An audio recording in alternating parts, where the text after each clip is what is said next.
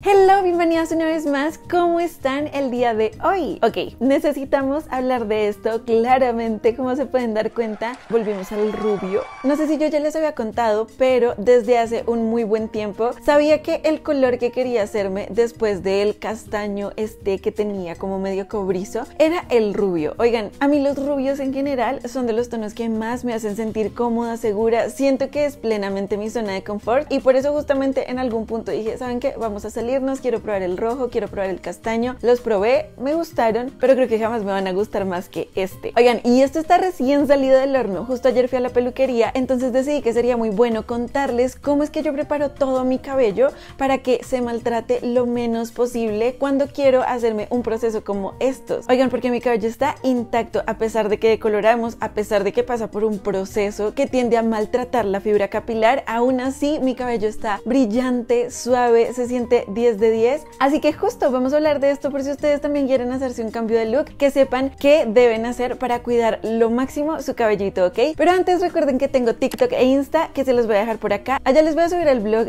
el cambio de look y todo, entonces pueden ir a seguirme. Y ahora sí, sin más preámbulos, vamos a empezar. Miren, yo con esto tengo toda una rutina que es la que quiero mostrarles justo ahora, pero antes también hay un proceso previo justamente de mucho tiempo para poder preparar el cabello. Primero y lo más importante es que desde hace mucho tiempo no me tocaba el cabello en cuanto a tintes, decoloraciones, etcétera. O sea, yo quería dejar descansar mi cabellito que estuviera lo mejor posible para este momento y justamente empecé a aplicar diferentes técnicas dentro de mi rutina para poder hidratarlo aún más, cuidarlo aún más, que la fibra capilar estuviera lo mejor posible para el proceso de decoloración. A esto tengo que añadirle algo y es que cuando yo me pinté el cabello de rojo, que no sé si recuerdan, pero lo tuve muy rojo, yo sabía que con el rojo no iba a durar mucho tiempo, era algo que solo quería experimentar. Y lo que hicimos en la peluquería justamente con mi estilista es que cuando retocábamos el rojo, solo retocábamos la parte de la raíz y acá era como un esfumado, ¿saben? En la parte de medios a punta simplemente como que emulsionaban el color con el cabello húmedo, pero no lo dejaban mucho tiempo. Entonces la fibra capilar no se iba cargando de tintes que luego sabíamos que iba a ser muy difícil sacar, porque para quienes no lo saben, el rojo es un color difícil después, al igual que el negro. Yo ya sabía que el rojo no lo iba a tener por más de un año y de hecho me cansé relativamente rápido de él. Lo dejé como unos cuatro meses y dije, ok, esto es todo lo que sigue. Y para sacarlo no hicimos una extracción de color, no decoloramos el cabello, justamente porque la fibra capilar no estaba tan cargada. Lo que hicimos fue tonalizarlo con un color que era el 713 de Igora Royal. Les hice todo un video hablando sobre esto para poder pasar de un rojo deslavado como este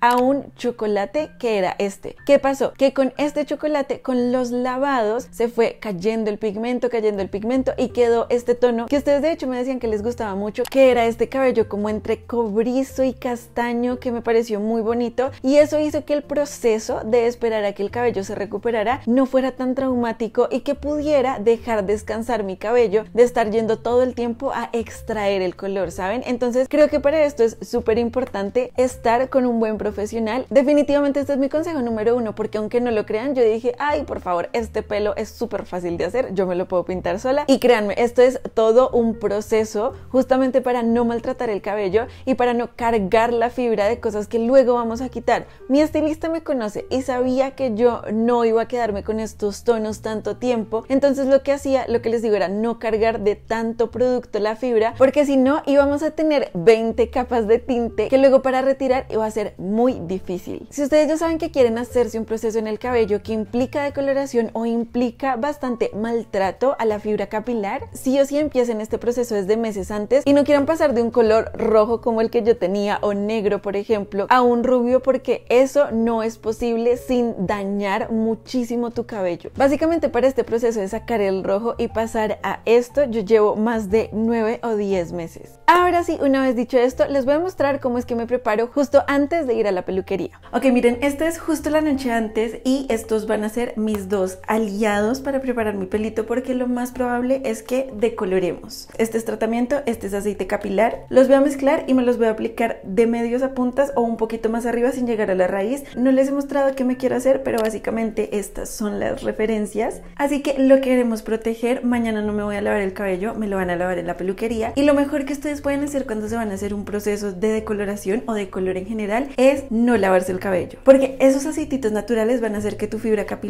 se proteja justamente. Entonces los voy a mezclar y me los voy a aplicar de medios a puntas o un poquito más arriba de los medios sin llegar a la raíz. Básicamente esto es como un pre-shampoo y se van a dar cuenta que protege mucho el cabello. Es de las mejores cosas que pueden hacer si saben que se van a decolorar. Ahora, algo que no les recomendaría sería mezclar procesos. Es decir, si te vas a decolorar, no te hagas un alisado y si te vas a hacer un alisado, no te decolores. Elige uno de los dos porque es la combinación perfecta para que tu cabello se arruine. Y una vez que ya está aplicado, voy a desenredar muy bien, hago una trencita y así voy a dormir toda la noche.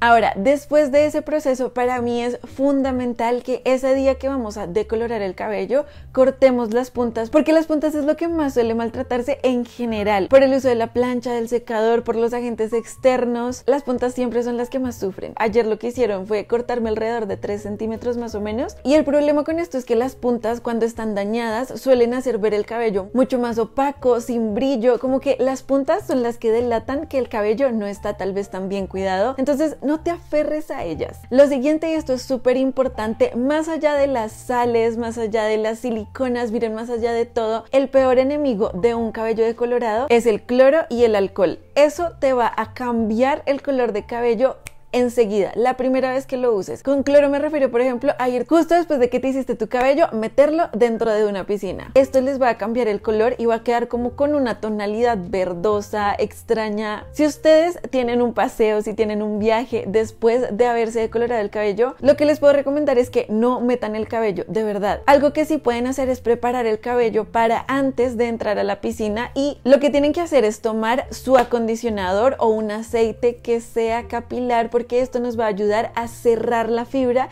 y a que no penetre el cloro de una manera tan agresiva, ¿ok? Ahora, con esto no es solo un poquito, se tienen que llenar el cabello de esto. La idea es saturarlo muchísimo para que hayan menos probabilidades de que tu cabello cambie de color. Pero si me preguntan a mí, yo lo que prefiero hacer es un chonguito en la parte de arriba y ya está. Que mi cabello no toque la piscina. Y por otro lado, no sé si sabían esto, pero hay varios productos capilares que contienen alcohol. Fíjense mucho en esto, lo general, por ejemplo, los mousse o estas espumas que son para peinar tienen como tercer o cuarto ingrediente el alcohol y quiere decir que sí o sí va a maltratar tu cabello y si tienes el cabello decolorado lo va a cambiar de color. Además, si tienen el alcohol como tercer o cuarto ingrediente, quiere decir que la concentración de alcohol dentro de ese producto es muy grande. Mi recomendación es que si los usan, los saquen de su rutina. Ahora, un hábito que puedo decirles que cambió cómo se siente mi cabello, porque yo lo hacía muy de vez en cuando, ¿ok?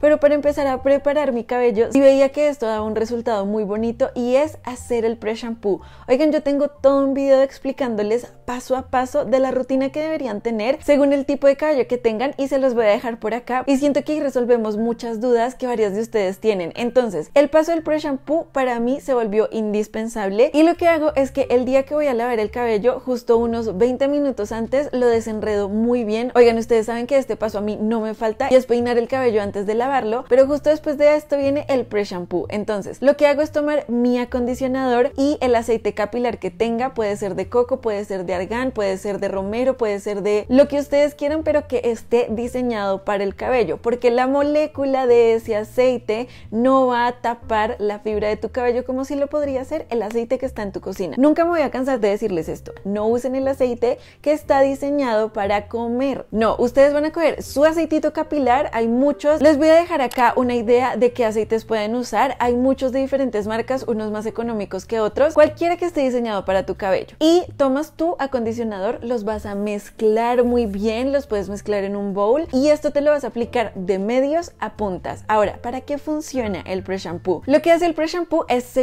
tu cutícula, tu fibra capilar, para que el champú no sea tan agresivo con ella. Ahora ustedes me dirán, pero ¿por qué el champú sería agresivo? Porque el champú está diseñado para tu cuero cabelludo, recordemos eso, no para tu fibra capilar, para tu cuero cabelludo. Y por lo general los champús tienen sales y las necesitas para que tu cabello esté limpio. Dejemos de pelearnos con esto. Entonces, lo que puedes hacer es aplicarte pre-shampoo para que primero protejas el color y segundo, el cabello no se maltrate tanto. Esto es un paso que justo ahora que estoy decolorada no me puedo saltar en la rutina. Y ya luego en la ducha simplemente te lavas muy bien con tu shampoo, la parte de la raíz, enjuagas todo y solo vas a dejar que la espuma del shampoo retire el resto. No necesitas aplicarte shampoo en las puntas. Ahora, otro paso que no me salto nunca, pero que esto no va en todos los lavados, esto deberías usarlo una vez a la semana o cada 15 días. En mi caso, dependiendo de cómo vaya sintiendo mi cabellito por la decoloración, lo voy a ir cambiando. Y me refiero a la mascarilla, oigan, y hay muchas mascarillas que están diseñadas para cuidar el color del cabello, justo para un proceso de coloración. Acá les voy a dejar algunas que son muy recomendadas, que son profesionales. Les voy a dejar algunas que yo he probado y que a mí me han servido mucho, que también son de supermercado. Ahora, quiero decir algo, no están diseñadas para cuidar el color, pero a mí me han funcionado. Ya luego de la mascarilla la dejas actuar, vas a enjuagarla solo con agua y luego aplicas tu acondicionador. El acondicionador siempre debe estar, esto se los dije en el video de la rutina, pero el acondicionador es lo que se encarga de que la fibra de tu cabello no quede abierta, que la cutícula de tu cabello quede cerradita y que tu cabello se vea más brillante, más bonito y menos propenso al daño. Ahora, otra cosa que sí o sí es necesario hacer si tienes un proceso de decoloración, si estás rubia o en general si quieres cuidar más tu cabellito es dejar el uso de calor. Oigan, ustedes saben que yo me volví adicta a las ondas sin calor, a las ondas con leggings, a las ondas con medias. Hemos probado diferentes opciones que dan diferentes resultados. También tengo un video completo probándolas. Mis favoritas sin duda alguna son las de leggings. Me encanta a pesar de que no me van a durar 500 horas, no me las haría para un evento o para algo profesional, pero para el día a día están perfectamente bien y hacen que mi cabello se vea bonito sin que tenga que pasar horas arreglándolo y además evitándome el maltrato. Muchas veces pensamos que el calor es solo de la plancha, del secador, del cepillo de Revlon, bueno, de todas estas herramientas mágicas que a la larga son contraproducentes, pero muchas veces ignoramos que el calor también lo ponemos en la ducha. Así que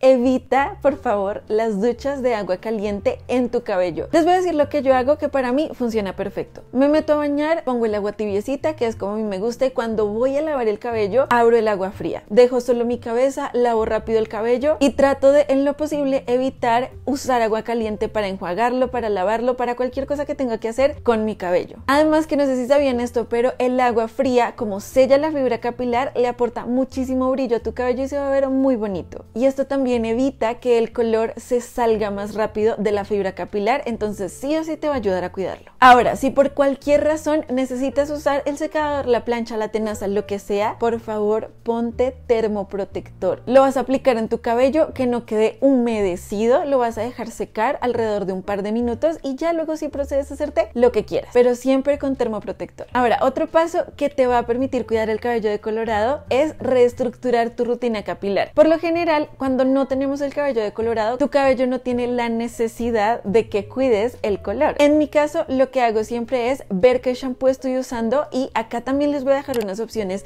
de shampoos, de acondicionadores que les van a ayudar muchísimo con el cuidado del color. Ya dependiendo de su tipo de cuero cabelludo, pueden elegir el producto que más se acerque a la necesidad que tienen, pero sí o sí es mejor reestructurar tu rutina y saber que un cabello decolorado y un cabello rubio por lo general necesita mantenimiento. Entonces no suele ser tan económico de tener. Ahora, mi consejo es, si ustedes quieren entrar en este proceso de decolorarse el cabello, de estar rubias, háganlo despacio y no es necesario que se pongan rubias de raíz a puntas porque eso va a hacer que el cabello se maltrate más y que sea más esclavizante el tener que decolorarte el cabello todos los meses. Mientras que si te haces un balayage, unas iluminaciones, no vas a necesitar ir a la peluquería a decolorarte o a retocarte el color en al menos unos seis meses. Entonces son las mejores opciones si tú quieres algo de bajo mantenimiento en la peluquería. Pero sí o sí tener un cabello decolorado hace que la necesidad de esa fibra capilar y de mantener el color requiera de otros productos que tal vez en una rutina normal no tendrías. Y eso implica un costo adicional entonces ten eso presente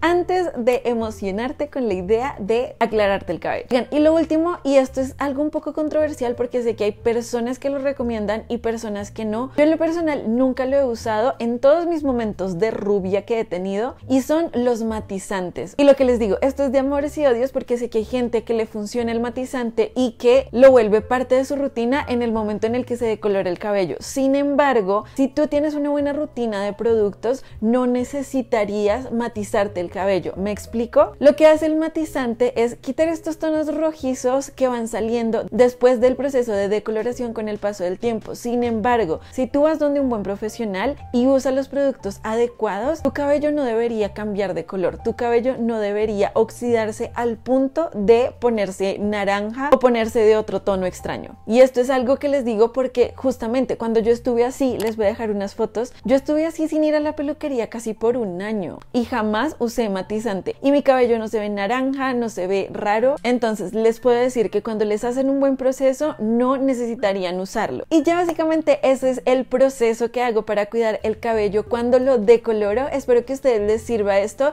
y si tienen alguna otra duda déjenmela aquí que si yo no la sé les prometo que voy a investigar, le voy a preguntar a mi estilista y resolvemos todas esas dudas para que su cabello siempre esté lo más sano posible. Espero que este video les haya gustado y sobre todo que les sirva y eso es todo. Les voy a dejar por acá otro video que seguramente les va a gustar mucho así que también pueden hacer clic para verlo. Recuerden que tengo el video específicamente hablando de la rutina de cuidado capilar que deberías tener entonces también se los dejo en la cajita de descripción y si no están suscritas o suscritos los invito a hacerlo haciendo por aquí, ¿ok? Les mando un abrazo, un beso y nos vemos en un próximo video. Adiós.